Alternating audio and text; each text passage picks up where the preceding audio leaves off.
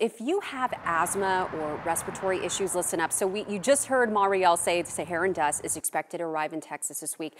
Well, that dust and the dry and dusty layer of air can cause allergy-like symptoms to flare. So allergists from Aspire Allergy and Sinus they're going to offer these suggestions for relief. You can take a look at your screen here. Limit exposure outside if air quality is poor. Keep windows and doors closed. Use nasal saline rinses to eliminate particles that are stuck inside the nose. And also wear a face mask when outside to reduce inhalation of particles through your nose or mouth. That can definitely help.